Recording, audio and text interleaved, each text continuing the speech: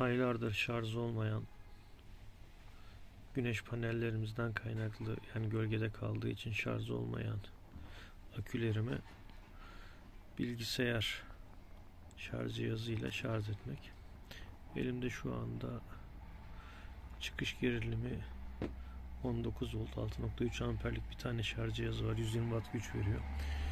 Ancak bunu direkt bağlayınca cihaz aküler daha doğrusu zarar görür. Bu nedenle MPPT üzerinden bağlantı yaptım.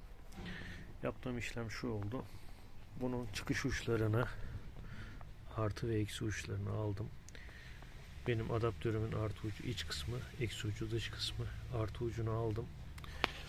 MPPT'nin güneş paneli kısmındaki artısına verdim. Eksisini ise aldım. Akımı sınırlayabilmek için bir tane ısıtıcım vardı 1800 wattlık. Bu ısıtıcıya verdim ve ısıtıcının çıkışını aldım getirdim. MPPT'nin eksi ucuna verdim. Şu anda 0.22 amperle düzenli olarak şarj ediyorum. Ancak ben bunu direkt bağladığımda 10 amper gibi bir akım veriyor.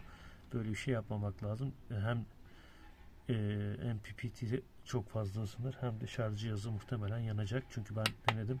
Aşırı derecede ısı üretti. Şimdi ben bir tane kendime rezistans buldum. Mümkünse 3 ohmluk bir rezistans üzerinden e, bunu vermek gerekiyor. Şimdi bu rezistansla daha güzel 1 amper ya da 2 amperlik akım değeriyle şarj etmeye başlayacağım. Evet ben uygun bir direnç değeri yakaladım ve şu anda 1.11'lerle şarj ediyorum. Ve işte şöyle ayar yaptım burada. İşte direkt şu uçla yani şu beyaz gelen kablo şu birinci sıradaki tele değiyor. Sonra devamında burada kendime uygun bir direnç değeri yakaladıktan sonra şurada 1.18 amperle şu anda sürekli şarj edeceğim. Tabi bu ısınıyor iletken doğal olarak ısı kontrolü sürekli yapmamız lazım ki zarar görmesin cihazlar. Bakacağım şimdi bakalım nereler ısınıyor.